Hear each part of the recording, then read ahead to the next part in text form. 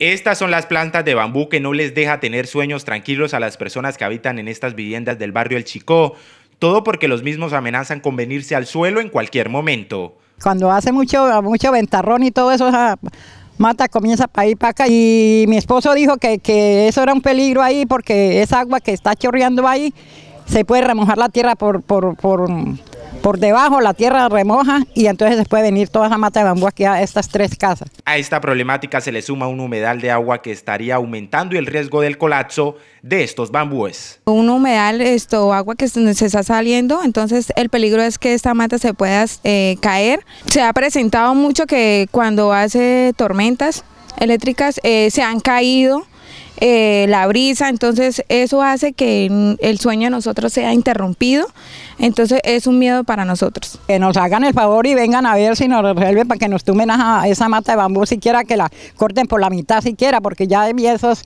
esas ramas ya están, vienen, vienen encima del, del techo. Se espera que los encargados de podar estas plantas que también afectan las redes eléctricas de este sector, prontamente le den una solución a estas personas del barrio El Chico.